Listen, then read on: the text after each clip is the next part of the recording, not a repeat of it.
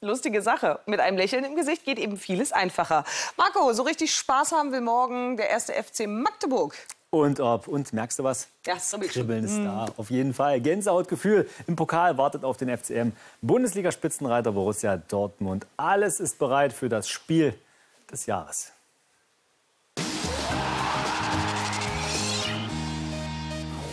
Ja, der Tisch ist, wie wir sehen, gedeckt und morgen wird im DFB-Pokal hoffentlich ein Festmenü serviert. Die Zweitrundenpartie des 1. FC Magdeburg gegen Borussia Dortmund macht auf jeden Fall Appetit. Und der BVB hat Respekt vom FCM.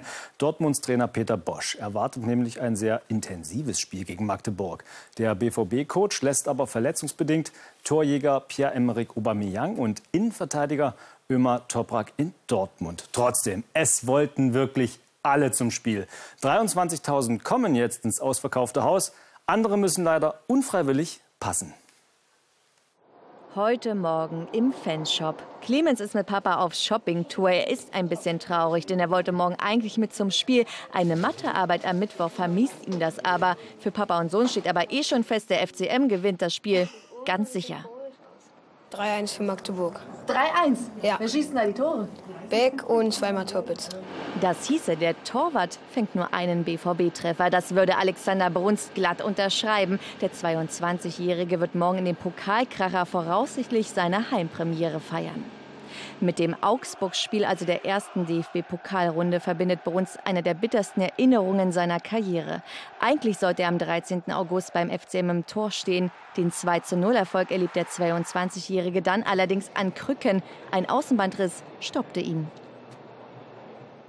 Knicke ich halt 24 Stunden blöd um und dann war es eigentlich schon klar, dass es eng wird fürs Spiel. Dann habe ich es ja am Tag, vor, am Tag nochmal probiert. Aber ja, da war die Enttäuschung natürlich riesengroß. Brauchte auch ein paar Tage, das zu verarbeiten, sage ich mal. Aber meine Freunde, meine Familie, meine Freundin, die Mannschaft, das Trainerteam hat mich dann auch aufgebaut. Und dann war es auch für mich klar, so nach ein paar Tagen, so jetzt greife ich neu an.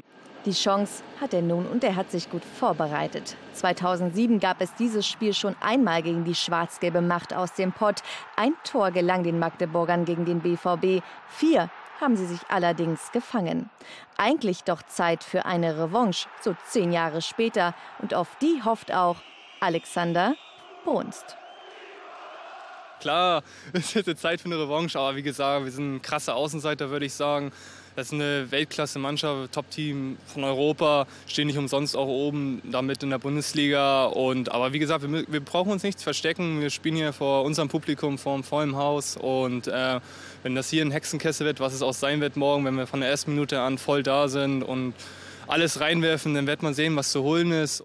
Ein Wunder, darauf hoffen die Magdeburger. Die schwarz-gelbe Macht ist nicht unschlagbar. Das Medienaufkommen heute Nachmittag im Presseraum riesig, während draußen noch das Stadion hergerichtet wird für den DFB-Pokal. Die Arena ist natürlich ausverkauft. 23.000 Zuschauer werden erwartet. Eine frühzeitige Anreise wird dringend empfohlen, am besten mit den öffentlichen Verkehrsmitteln.